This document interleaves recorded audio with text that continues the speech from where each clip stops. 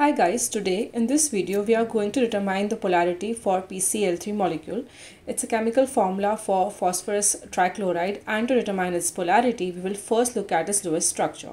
So here you can see that three chlorine atoms are forming a single bond with with a phosphorus atom. But the symmetry of this molecule is not symmetric as there are two chlorine atoms on this side but there is only one chlorine atom here.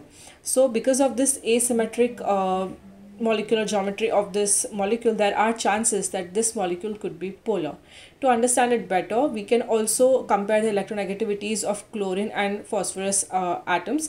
The electronegativity of chlorine is much higher than that of phosphorus and there will be a difference of electronegativity between these two atoms which should which will be quite higher than 0.5 making these bonds a polar bond and there will be the formation of poles in this molecule and any molecule that has poles in it is a polar molecule. So PCl3 is a polar molecule.